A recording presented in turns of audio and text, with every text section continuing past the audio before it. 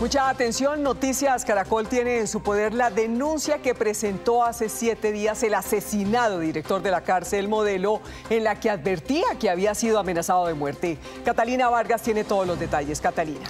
María Lucía, esta denuncia fue presentada el pasado viernes 10 de mayo en el módulo de recepción de denuncias del IMPEC. En su relato, el director indica que el 9 de mayo, siendo aproximadamente las 10 de la noche, al frente de la cárcel La Modelo, más exactamente en la puerta de ingreso vehicular, dos sujetos que se movilizaban en motocicleta detonaron tres cartuchos de arma de fuego que impactaron en la pared de la cárcel y dejaron dos panfletos con los siguientes mensajes, abro comillas, de parte de Pedro pluma del cuarto para el director, que si vuelve a meter requisa para el patio, le mato la familia, cierro comillas. Y además, abro comillas, para que vea que yo sí tengo poder y si me trasladan, le mato la familia, cierro comillas. Por esta razón, el director instauró esta denuncia por los delitos de amenazas y terrorismo y hace una grave advertencia al finalizar su relato.